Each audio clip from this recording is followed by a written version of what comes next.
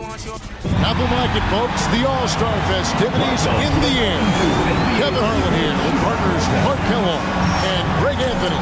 Tonight, it's the Mountain Dew three-point contest. We'll get to see the best three-point marksmen showing everyone what they've got. And as with all the All-Star festivities, the three-point contest is about having fun, a good time. But still, that doesn't mean the competitive juices won't be flowing.